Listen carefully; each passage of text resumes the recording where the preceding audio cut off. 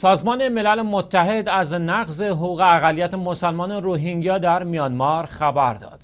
کمیساریای سازمان ملل در گزارشی اعلام کرد محرومیت از حق شهروندی، کار اجباری و خشونت جنسی از جمله موارد نقض حقوق اقلیت مسلمانان در میانمار است. این اقلیت دارای بیش از یک میلیون نفر جمعیت هستند که برخی از چند نسل قبل در میانمار ساکن هستند اما به عنوان مهاجر غیرقانونی از بنگلادش به حساب می آیند. بعد از خشونت های قومی بودایی ها علیه مسلمانان در سال 2012 که به کشته شدن بیش از 200 نفر منجر شد بیش از 100 هزار مسلمان روهینگیا در ایالت راخاین در غرب میانمار در اردوگاه ها زندگی می کنند.